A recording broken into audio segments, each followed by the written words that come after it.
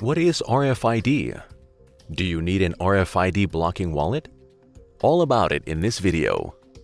RFID, short for radio frequency identification, uses radio frequencies to identify and track tagged items. Your credit cards and passport may have RFID tags that can be scanned for contactless payment or identification. Can criminals abuse this system? Can they access your cards and withdraw money while passing you on the street? Can they scan the sensitive details on your passport and steal your identity?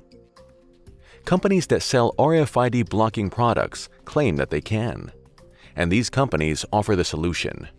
RFID blocking wallets, jeans, jackets, and other products which contain a layer of carbon fiber or aluminum to block the radio signal.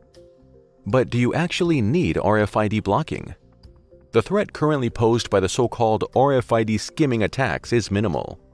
Here are four reasons why. 1. Credit cards use an encrypted and unique transaction code to complete contactless purchases. 2. The scannable information on a credit card doesn't include sensitive data like the security code on the back. 3. Instead of getting close to a victim and risk being seen or captured on CCTV, criminals can find huge lists of compromised credit card details on the dark web.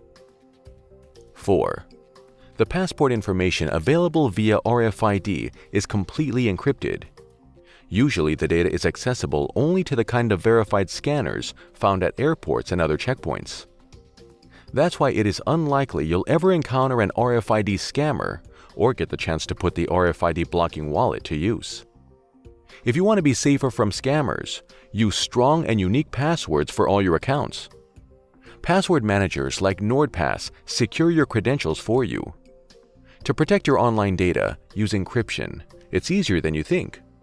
NordVPN secures all your online traffic with a click.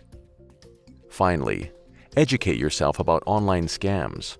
They pose a much bigger risk than RFID skimming. For all things online security, please subscribe to our YouTube channel.